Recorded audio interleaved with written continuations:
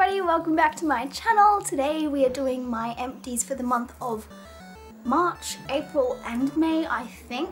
Um, I'm pretty sure I did my February ones and then didn't get a chance to upload it because I didn't edit it and then by the time I was about to edit it it was like the next month. So these have been collecting for quite some time now and I've managed to lose a few of the packets of like samples that I've gotten through Bellabox that I finished up. But basically the shampoo and conditioner that I got a while back, finished that up. And I finished an Avon sample as well. I can't remember. Anyways, for hair care products, I finished my Lee Stafford Bleach Blondes um, shampoo and my Fudge Clean Blonde conditioner. These two were heaven sent. Lee Stafford kind of smells like potpourri. This smells like coconut. I am now using the shampoo and conditioner combination from this and I'll probably switch to the shampoo and conditioner combination from Fudge. I like them both. Will I repurchase? I just told you, of course. the next empty is something that I've gotten 101 times from Bellabox. Okay, maybe I'm exaggerating, but it's the Wen uh, Sweet Almond Mint Cleansing Conditioner. I don't mind it, I don't love it though. I don't know. Am I gonna purchase it? No. Am I going to use it if I get another sample of it? Yes. Am I still a subscriber to Bellabox? No, I had to put that one on hold just until I can get my money sorted out. So just putting that all out in the air. I do still love them and I will still resubscribe when I get a little bit more money coming in. Um, and I'll leave a link down below so that you guys can sign up because I definitely, definitely, definitely recommend it. Um, another thing I got from Bellabox is the Botanical Intensive Care Intensive Healing Foot Mask in Apple. These were really weird. They were like plastic. They weren't, were they plastic? I'm pretty sure these were plastic, like plastic bags.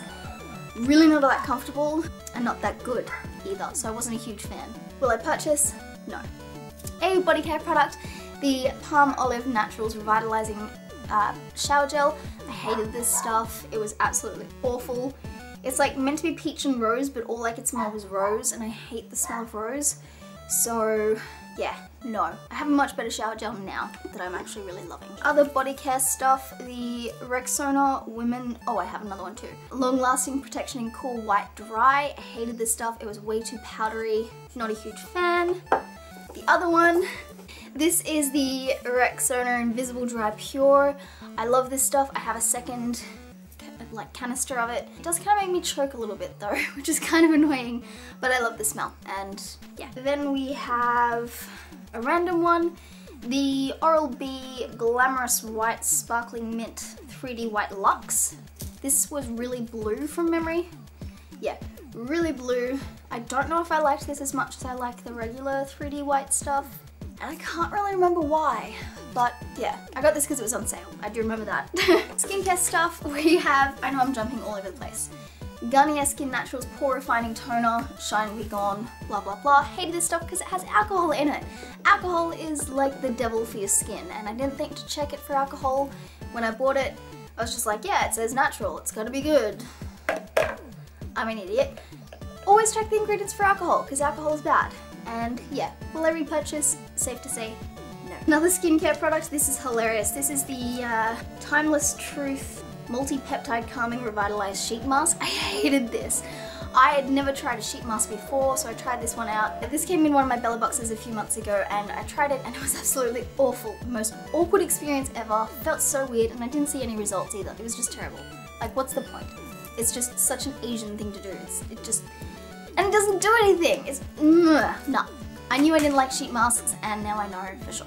More skincare stuff, the Kate Somerville Detox Daily Cleanser. Love this stuff. Really hygienic little bottle because you just like doop and then squeeze and then doop and then done.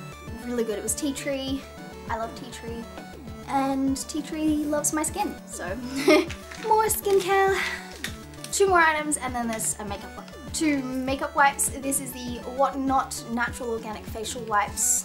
These are for sensitive skin. There was five wipes in these, so I'm guessing it came from Bellabox. I don't think I like WotNot wipes. I don't think they're very effective.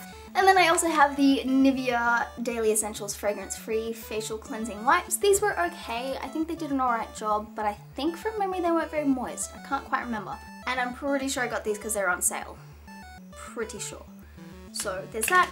And the last item is a makeup item. I actually finished a makeup item, which is kind of amazing because to be honest with you, being a personal trainer, I hardly ever wear makeup and I have quite a bit of it. So this is the e.l.f. waterproof eyeliner pen and it is actually not that bad, but from memory when I tried to use it, it would like, it's really faded. It used to be a lot more pigmented and because I always use it on my eyes when I have eyeshadow on, it was getting all gunked up with eyeshadow, so it's just, just not doing it anymore. It wasn't applying evenly. But when it's brand new, I loved this stuff. It was really good. I've been feeling really weird lately, so I'm out of breath. but yeah, I do enjoy the e.l.f. waterproof eyeliner. I think I have this in blue as well. This is black. I'm probably never gonna use the blue, but I have it if I ever wanted to. So yay, that's that. And those are all my empties. So I hope you guys enjoyed this video. Let me know if you've tried any of these products and if you have a good suggestion for replacements, because obviously I need to buy new ones. Yeah, leave your comments down below and make sure you subscribe so that you can see if I try out your suggestion and see what I finish up this month. You guys will see me in the next video, so yeah, okay. Bye guys!